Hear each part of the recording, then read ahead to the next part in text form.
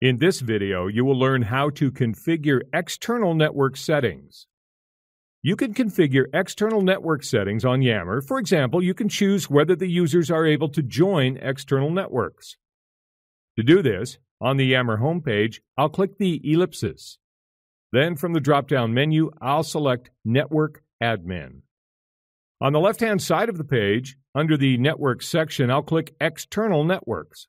On the External Networks page, you can choose who can create external networks. In this case, I'll select the Only Admins option. Here you can select the Require Admin Approval for members to join external networks to restrict users from joining other networks.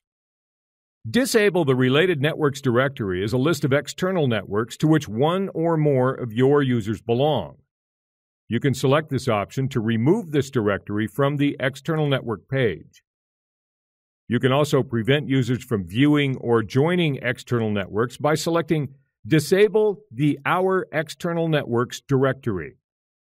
Here I'll leave them unchecked and click the Save button. At the top of the page, a notification will appear confirming that the configuration of my network has been updated.